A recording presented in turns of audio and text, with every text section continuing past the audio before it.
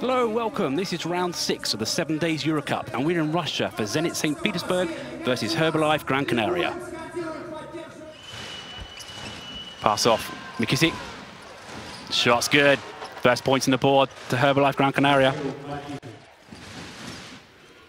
Oh, pass inside. Open man Reynolds in the corner. Three's good. Simonovic drives to the lane. Tough shot. Rolls around and in. Lovely move there. Errant pass there. Here's Reynolds the other way. Looking for options. Oh, beautiful bounce pass the slam! Wonderful pass from Scottie Reynolds. Look at this bounce pass. Straight through two guys. And there's the finish for Lazarev.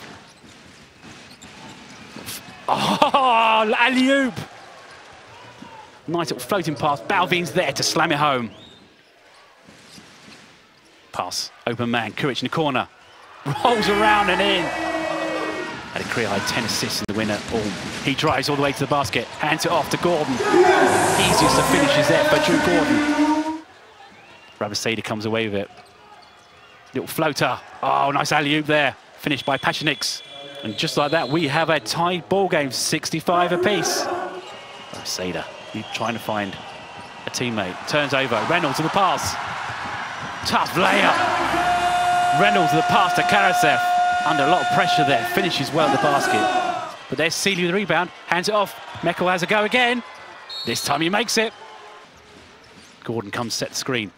Then rolls to the basket. Gordon for the dunk. Great play there from Zenit.